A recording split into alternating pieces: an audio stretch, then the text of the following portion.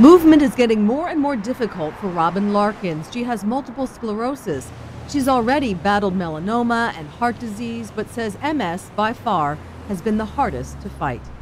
Because not knowing from day to day what your body going to go through next.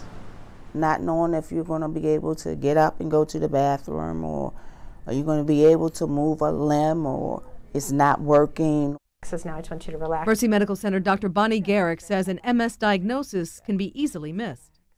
A lot of times people have symptoms for many years before they're diagnosed, sometimes because they ignore the symptoms or they may tell a healthcare practitioner about them and it's kind of, you know, there are symptoms that are common. Who doesn't get numbness and tingling sometimes, you know, pain, sometimes blurred vision, double vision. Other? Symptoms include, as Dr. Gerecke mentioned, vision loss, numbness or tingling, pain, and also problems with balance and heat intolerance.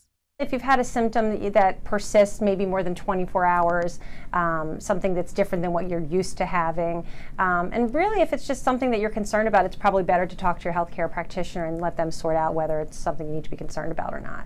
Dr. Gerecke says there's no cure for MS, but medications to slow the progress of the disease have improved greatly over the last 10 years.